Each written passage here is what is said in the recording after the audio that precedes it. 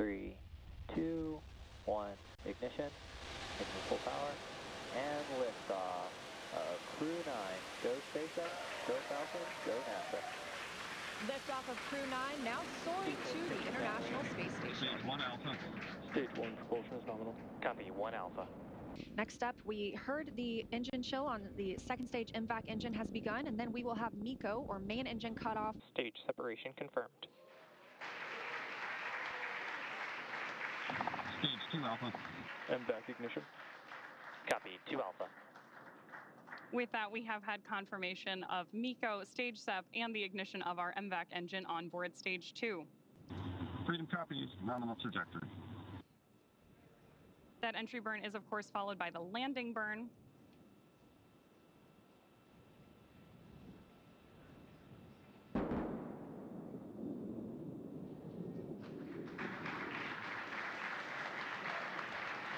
Stage 2, FTS has safed.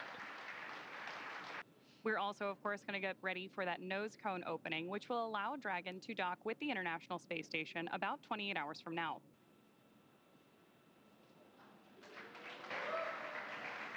Dragon SpaceX, Dragon separation confirmed.